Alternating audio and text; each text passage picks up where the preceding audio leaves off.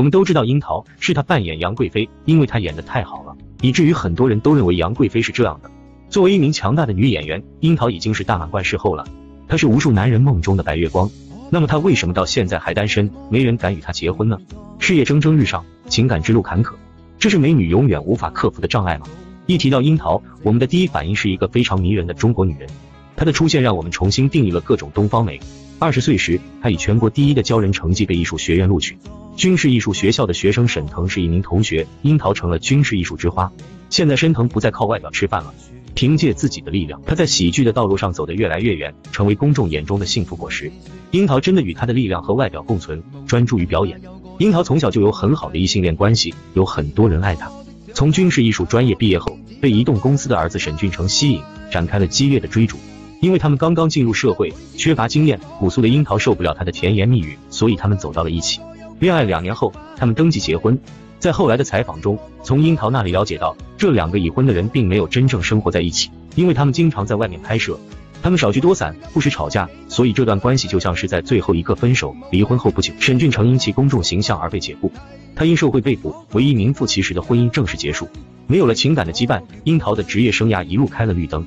也正是自然的好运，让他再次升得到了高贵导演高希希的全力帮助。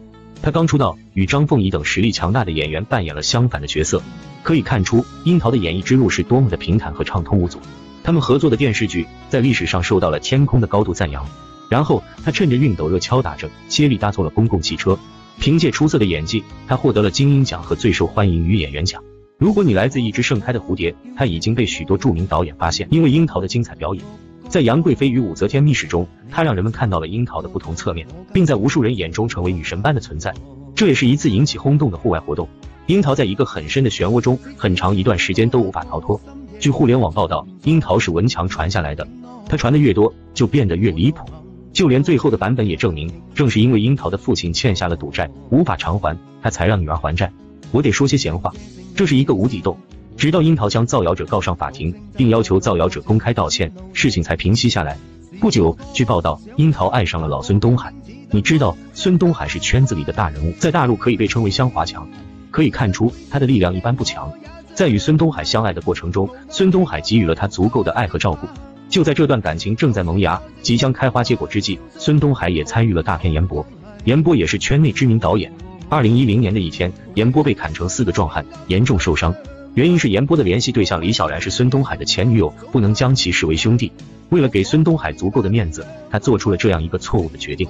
我们对这起事件的背景没有做太多推断。后来从李小然发布的微博上可以看出，他与孙东海的爱情经常受到威胁。孙东海因事件的负面影响而被问及自己的黑社会背景。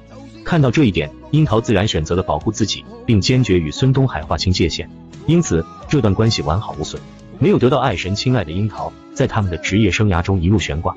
二零一一年，樱桃与周冬雨、韩庚等一起在春节联欢晚会的舞台上为新年唱《回家》。后来，她主演了一部电视剧《温州家庭》，获得了飞天奖最佳女演员奖。一段关系的结束意味着下一段关系的开始，即使他只是一个路人。在一部戏剧《罗密欧与朱丽叶》中，樱桃和李光明相遇，他们在舞台上的精彩表演使许多人沉迷其中。有一段时间，他们分不清这是在戏里还是在戏外。这出戏里有很多接吻的场景，樱桃毫不犹豫的大胆的表演了激动人心的接吻场景，这让很多人认为这两人是在假装真实，私下里一直在一起。媒体还拍到两人经常一起进出酒店，关系极为暧昧。但丑闻曝光后，樱桃和李光明逐渐疏远，然后就没有了联系。慢慢的，随着时间的推移，这种关系没有被提及。后来，李光明也为丈夫嫁给了隋玉萌，她过着非常甜蜜的生活，不时流露出爱意。李玉似乎已经相爱两年了。